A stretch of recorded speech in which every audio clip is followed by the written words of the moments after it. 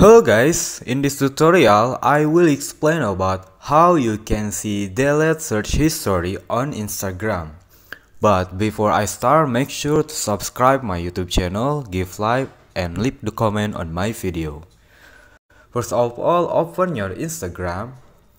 After that go to the search icon on the bottom in here and now click on the search bar for example, in here I will search account or post about surfing. And now select search surfing. As you can see, this is a lot of posts about surfing. For example, I will go to your accounts. For example, I will go to the accounts and then visit each account in here.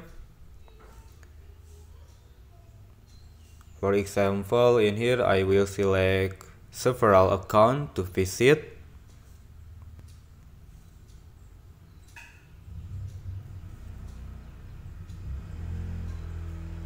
And now you can go back after that click on the search bar and delete your history in here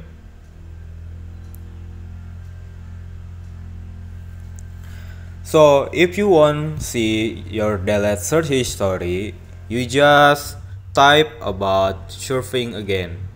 Okay.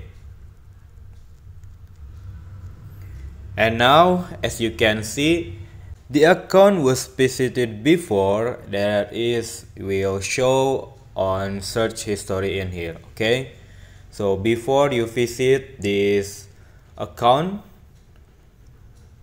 when you type surfing again, so that account on search history will show on your Instagram.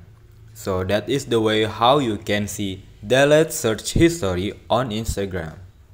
Thanks for watching this video. Make sure you subscribe, like and leave the comment on this video. Thank you.